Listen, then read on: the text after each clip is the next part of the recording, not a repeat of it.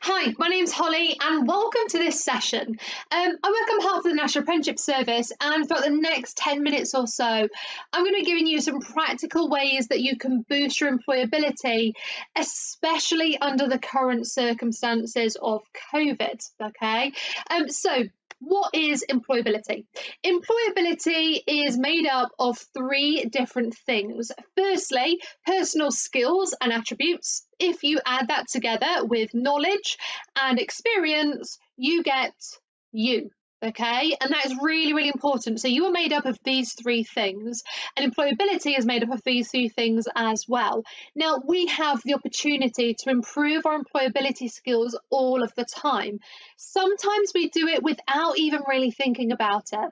But actually, given everything that's going on in the world and the current restrictions with lockdown and with COVID, there is certainly things that we could perhaps doing more of to ensure that we are improving our employability to help us in the future when it comes to applying for things like apprenticeships, but actually when it comes to applying to lots of other things as well. Because your grades are not going to be enough to secure you positions anymore, okay? Especially when it comes to things like apprenticeships. So you can see on this mock-up CV of Joe Bloggs, uh, we have got education on there. Great, fantastic, perfect. Employers are going to be looking for the other things as well. What do I mean by other things? Firstly, they're going to be looking at your training. Secondly, they're going to be looking at your work experience. And thirdly, they're going to be looking at your hobbies and your interests. So let's break that down a little bit. Let's look under the hobbies and interests ones first because that's the easiest to really kind of understand. This one here, I'm a keen musician and I play the guitar nice and easy. Okay. Work experience. So this person's worked at a restaurant on Saturdays for the last two years. Now their training, again, this is certificated or awarded training. So things like first aid, Prince's Trust. What they have done is pulled lots of things together and put it all in one place. Now, like I said, I'm going to give you some hints and tips on how you can improve your employability when it comes to COVID, okay, um, and how we can ensure that we're making the most of our time. So, personal skills and attributes are things which employers are definitely looking for on your application forms. And the four main ones, or the most important ones that they look for, are on screen now. Now, we typically would call these soft skills, and that's okay, but I don't really like calling them soft skills too much because actually they're really, really important skills to help us get through our professional and our personal lives. So, you can see they are motivation and ambition, collaboration and teamwork, determination and resilience, and finally, adaptability. So, these are the four perhaps most important ones. We need to ensure that actually we're doing everything that we can to demonstrate that we have got all four of these personal skills and attributes. So, how do we develop skills at home? It is no lie that we have been in lockdown now um, for a couple of months things are still quite restricted. Um, and actually, for students, you're in a really tricky position because actually you want the opportunity to go and get some experience and to develop your skills and to prove that you have got strengths. But how are you meant to do that when you're at home? This is what I'm going to help you with, okay? Because most definitely you are all doing something that you can start to unpick and unravel and put down on application forms in the future. So let's start off with these four questions. First of all, what problem have I solved during lockdown? Okay, this could be absolutely anything okay something really big or really major perhaps something a little bit smaller okay it doesn't matter but find a problem that you have solved Secondly, how have I managed to communicate with others when I can't meet them in person? Again, showing your ability to be adaptable and flexible. Have you used things like uh, video conferencing apps, things like Zoom? Um, have you done other things as well? Um, you know, have you increased social media or increased um, your WhatsApp groups, those types of things. Okay. Again, this will demonstrate your um, your adaptability. Thirdly, how have I managed to support those who need extra help during lockdown? Again, this goes a really long way in terms of a little bit of experience, okay? So, have you picked up the groceries for an elderly neighbour every week? Have you done the big family shopping every week because you've got parents who are perhaps a little bit vulnerable? Have you been part of a community group to help lift spirits or help volunteer? These types of things. So, how have you helped people in need during this period of lockdown? Fourth, how um, or what have I done during lockdown that I never thought I would be able to do? Okay, really start thinking about this because I'm sure we've all done something. Um, some people have learned instruments, some people have started to learn how to cook, some people have got done courses. Okay, and then you need to unpick that. Okay, once you answer those four questions, you need to start thinking what skills does that demonstrate? My ability to communicate differently shows my adaptability. Um, having the ability um, to teach yourself an instrument shows self motivation.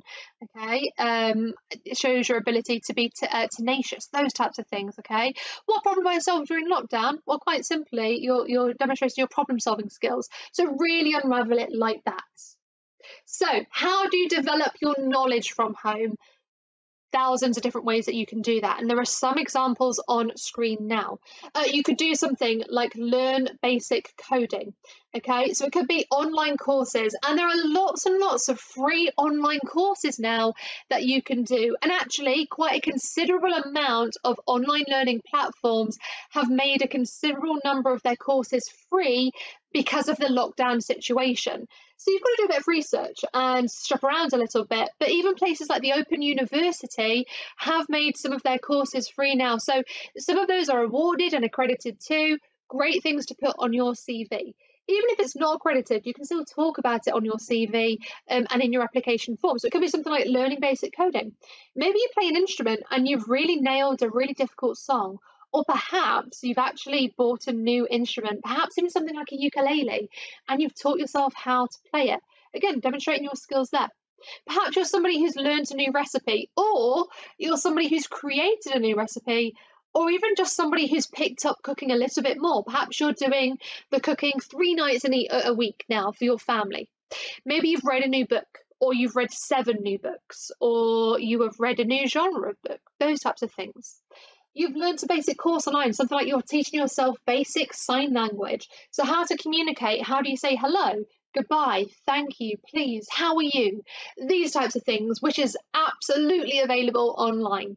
Or perhaps you've expanded your knowledge on something in the world. Have you been reading articles? Have you been looking at papers which people have, have published online? Um, have you really started to get into the deep side of Google Maps and explore a new world wonder? really doesn't matter, but you can be doing all of these things during lockdown, in the evenings, after your schoolwork, at the weekends, during lunchtime. The really simple things that you can be doing. However, shows you're proactive. And the more proactive you can be when it comes to write your application forms, the better off you are going to shine out and stand out. Again, spoken about this already, but you can go through lots of self development via online courses.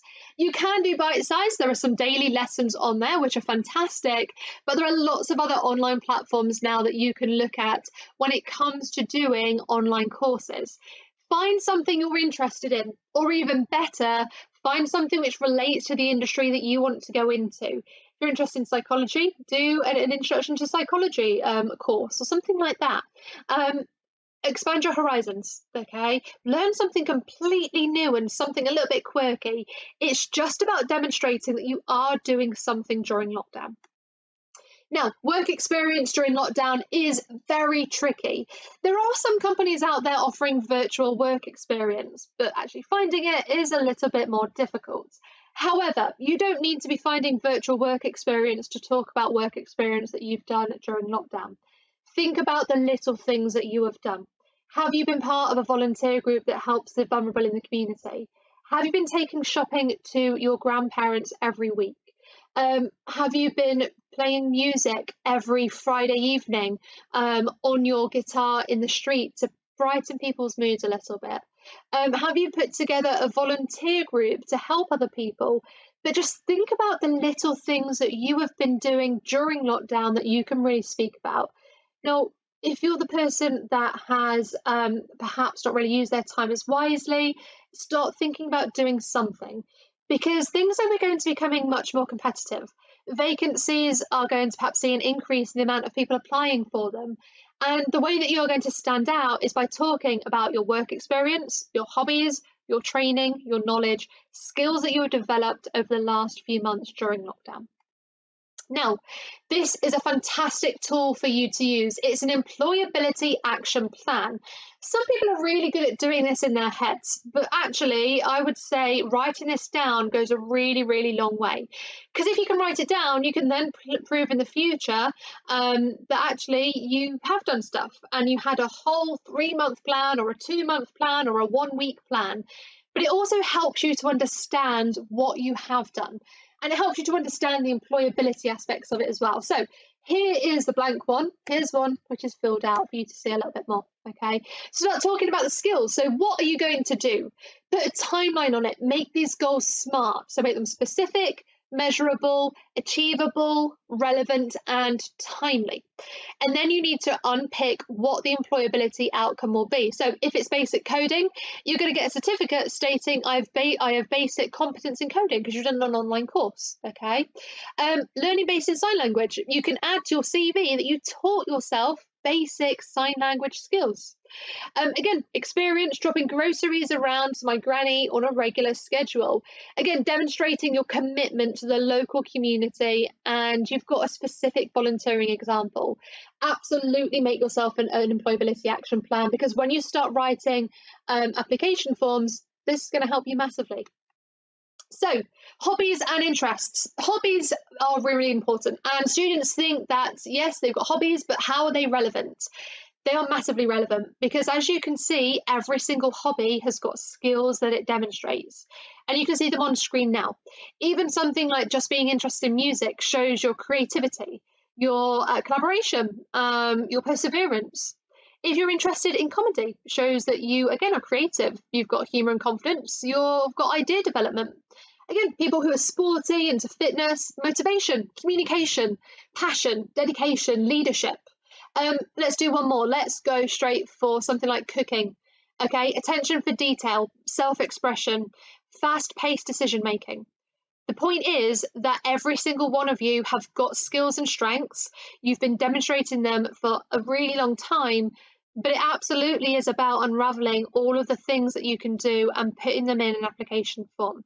Again, this video is great because you can pause it here and start to note down some of the skills which you can pull out from your hobbies. And I love this slide as well because it's about recognizing your personal strengths. So, when you're doing application forms, one of the most common questions you're going to be asked is, What are your main strengths? And people always tend to go for the same ones communication, teamwork, leadership, um, the ability to meet deadlines. And they are fantastic skills and they are important skills and it's your employability skills. But actually, there are thousands of personal strengths out there. So, again, this slide is fantastic because you can really start to pick out some other personal strengths that you definitely have got but perhaps you don't think about. So perhaps you're somebody who is proactive, you are somebody who uh, uses your initiative, you are efficient, you're decisive, you're analytical. It's all of these keywords which are really important that you can start filtering through your application forms in the future. So I really hope that has been useful for you. If it has been useful, fantastic. If it hasn't, I'm really sorry. Maybe go and watch the video again and try and pick out one thing that you can help yourself with in the future. Any questions, want more for some more information, check out the links on screen now. But from me to you, thank you for watching.